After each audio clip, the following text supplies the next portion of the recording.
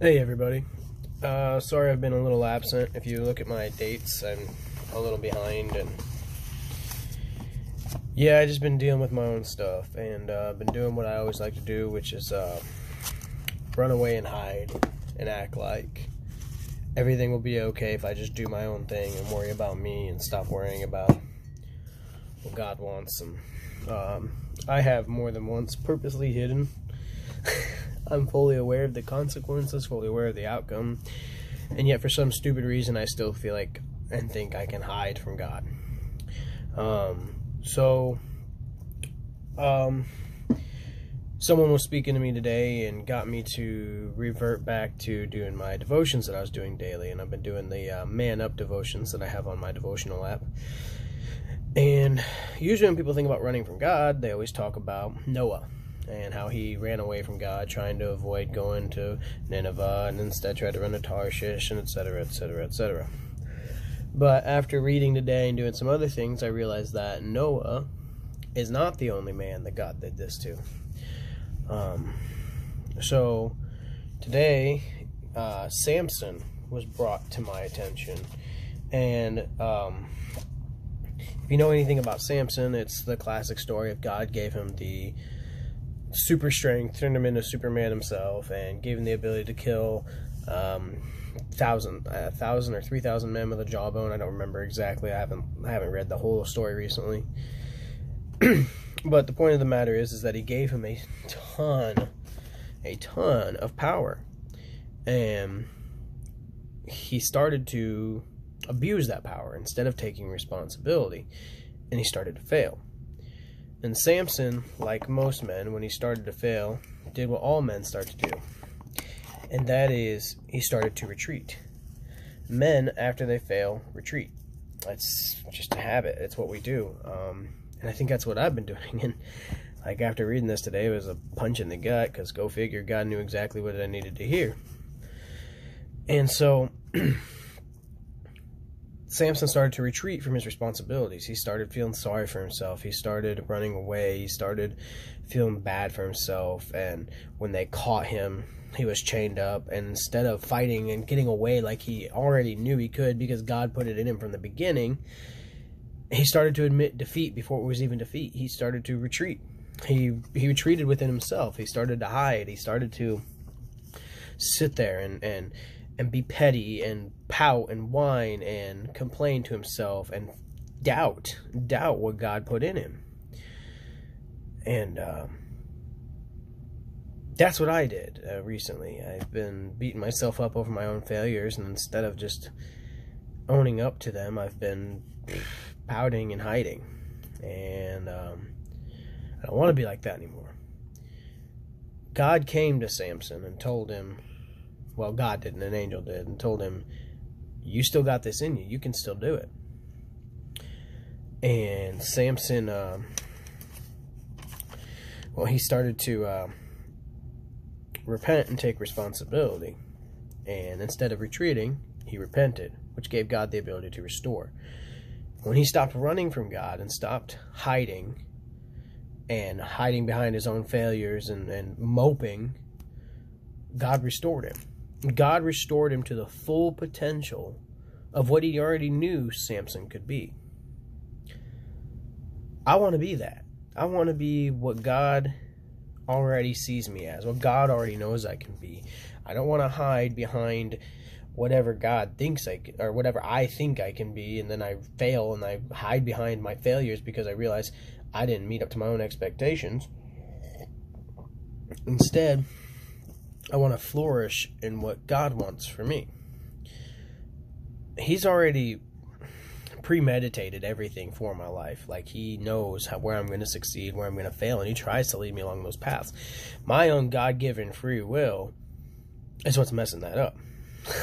to to to deny that is moronic. Um, every time I come back to God and I actually start to give Him my life, and stop hiding, my life gets better. He starts to lead me in a way that I didn't even think was possible, and he starts blessing me, and he starts restoring to, as I said before, my full potential.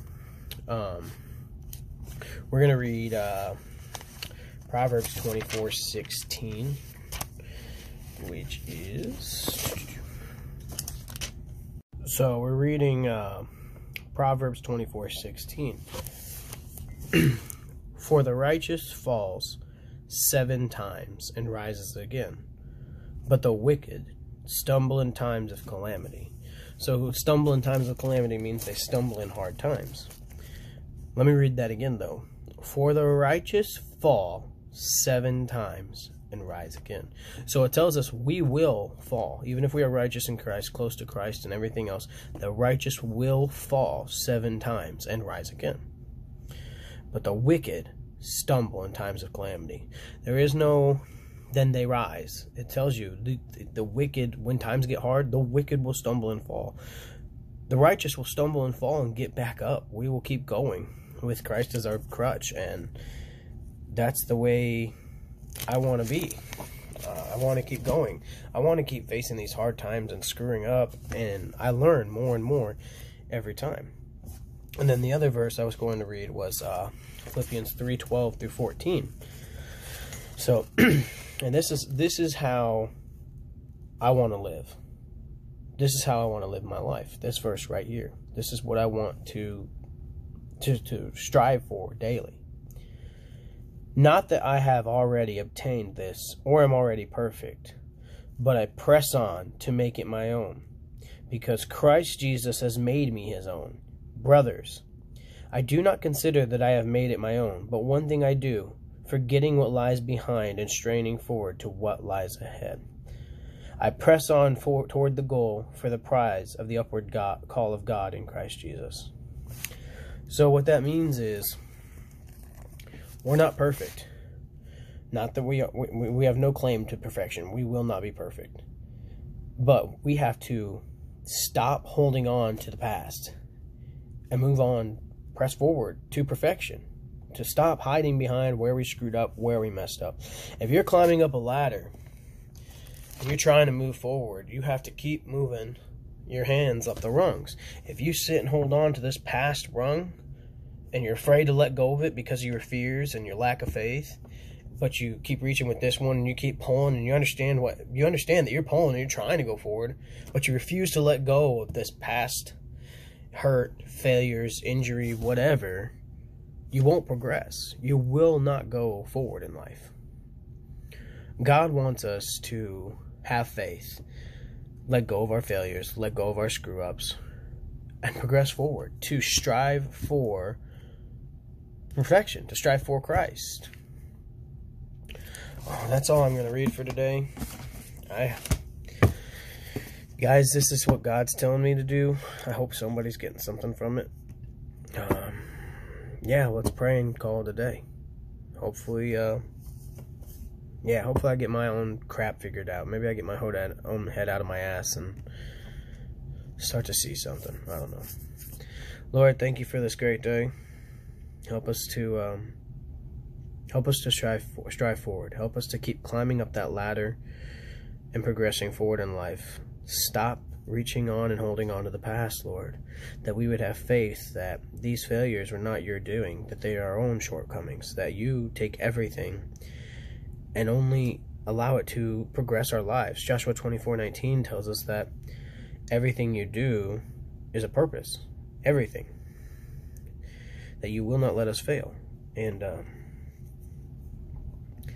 Lord, I pray that um, you would allow us to keep seeing your purpose in our lives and we would stop looking at our own failures and our own desires.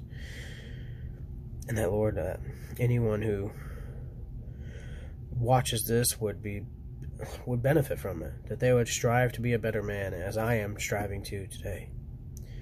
Lord, I want to be more like Christ. I want to be more like what you intended man to be, more like Adam, more like Noah to let go of my own shortcomings and to cling to you and have faith in what you're doing to us and how you're developing my life. In Jesus' name I pray. Amen. I hope you all have a blessed night. Until next time.